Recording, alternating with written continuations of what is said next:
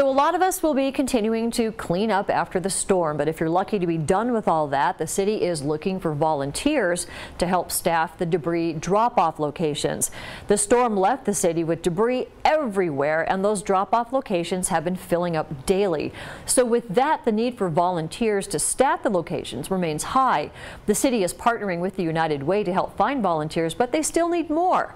The volunteers that do staff the drop-off locations mainly have the task of greeting people as they come by, some light traffic control, and directing people to the proper spots to drop off their branches.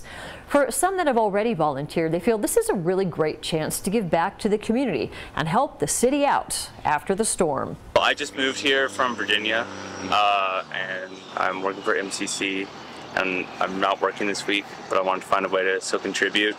You know, as the city's been really welcoming and offered a lot of great ways to join the community. I wanted to find a way to give back. And if you're interested in volunteering, just go to volunteermissoula.org to sign up.